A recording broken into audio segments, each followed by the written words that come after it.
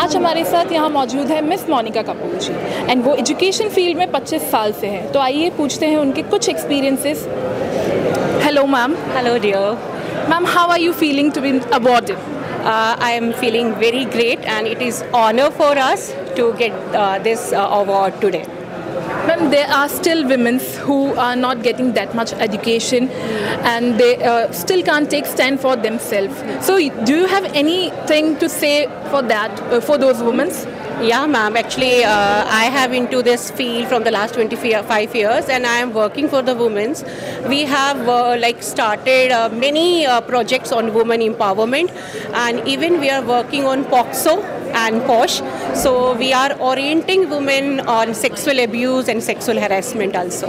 Okay, ma'am, that's so great. And, ma'am, would you have any, like, would you like to give any message for those women, like, to take stand for themselves?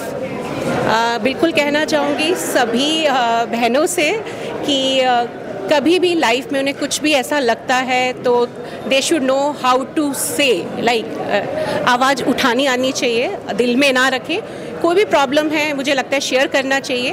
वो किसी से भी करें but जब वो share करेंगे बोलेंगी और थोड़ा सा बाहर आएँगी तो मुझे लगता है वो बहुत अच्छा कर पाएँगे। Thank you ma'am and congratulations.